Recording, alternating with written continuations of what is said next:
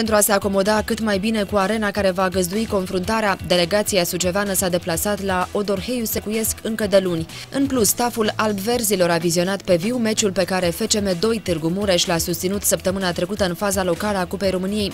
Vizita făcută în Ardeal nu a avut însă menirea de a-i edifica pe tehnicienii suceveni asupra potențialului adversarului de miercuri, având în vedere că mureșenii au folosit o echipă formată doar din jucători tineri. În vederea barajului, conducerea clubului Sporting a anunțat anunțat că va pune la dispoziția suporterilor suceveni un mijloc de transport în vederea deplasării acestora la Odorheiu Secuiesc. Astfel, fanii care doresc să însoțească trupa lui Ovidiu Ciobanu la barajul de promovare sunt așteptați miercuri dimineață în parcarea stadionului Areni, plecarea fiind programată la ora 9 și 30 de minute.